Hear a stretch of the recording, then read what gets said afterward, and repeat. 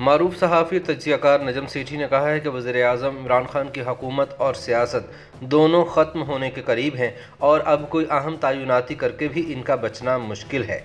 चुनाचे मौसू बहुत जल्द फारिग हो जाएँगे। नया दौर के टीवी प्रोग्राम खबर से आगे में सियासी तजिया पेश करते हुए नजम सेठी का कहना था कि वजी अजम इमरान खान, जो मर्ज़ी कर लें, इनकी सियासी ज़िंदगी अब ख़त्म होने के करीब पहुँच चुकी है। उनका कहना था कि अब आवाम इमरान खान को एक दिन भी बर्दाश्त करने के लिए तैयार नहीं है। लिहाजा वो आवाम की ताकत से डरें और फारिग होने से पहले ही अपना फैसला कर लें। उन्होंने कहा कि हो सकता है कि इमरान खान अपने मुजवजा दौरा रूस के लिए जा ही ना सकें, क्योंकि अपने खिलाफ तहरीक अदम अतमाद के ऐलान के बाद उन्हें इकतदार बचाने की पसूड़ी पड़ जानी है।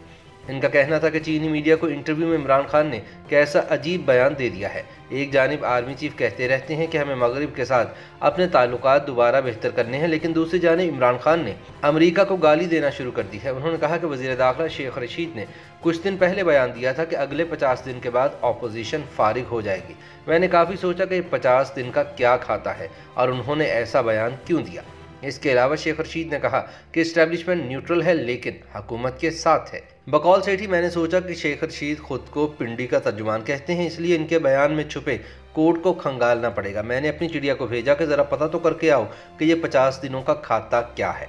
लिहाजा पता ये चला कि शेख रशीद के बयान का मतलब ये है कि अप्रैल में मुल्क के हालात कुछ ऐसे बनेंगे कि अपोजिशन फारिग हो जाएगी और इमरान खान अपनी हुकूमत की मुद्दत पूरी करके मज़ीद अगले पाँच साल भी इकतदार में रहेंगे। नजम सेठी ने कहा कि सवाल ये था कि ऐसी क्या चीज़ है जो अप्रैल में होनी है? क्योंकि अपोजिशन का एजेंडा तो ये है कि 50 दिन के अंदर अंदर इमरान खान को इकतदार से फारिग किया जाए।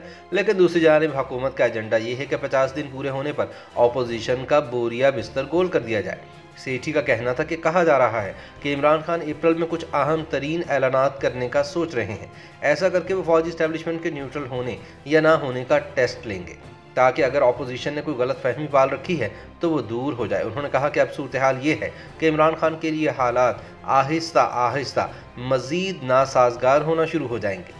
जिन सतूनों पर इमरान खान का सहारा था, वो भी इनसे पीछे हटेंगे। इस्टेब्लिशमेंट और अदलिया भी इस वक्त माजी की तरह सतून बनने के लिए तैयार नहीं है। अपोजिशन का कहना है कि अगर इस्टेब्लिशमेंट न्यूट्रल हो जाए तो इमरान खान खुद ही गिर जाएगा और इसे कोई नहीं बचा सकेगा। सेठी ने कहा कि मेरे ख्याल में मुस्लिम लीग नून और पीपल्स पार्टी के पास नंबर्स गेम पूरी हो चुकी है और इसलिए तहरीक अदम अतमाद लाने का हतमी ऐलान कर दिया गया है। उन्होंने कहा कि चौधरी बिरादरान और जहांगीर तरीन के साथ अपोजिशन क्यादत की अहम मुलाकातों का सिलसिला शुरू है और इसके नतज जल्द सामने आ जाएँगे। अपोजिशन चाहती है कि बड़े मार्जिन के साथ हुकूमत के खिलाफ चला जाए, इसलिए इमरान खान के इतिहादियों को भी साथ मिलाने की पूरी कोशिश की जा रही है, जिसके मुस्बत नतज सामने आने की तो है।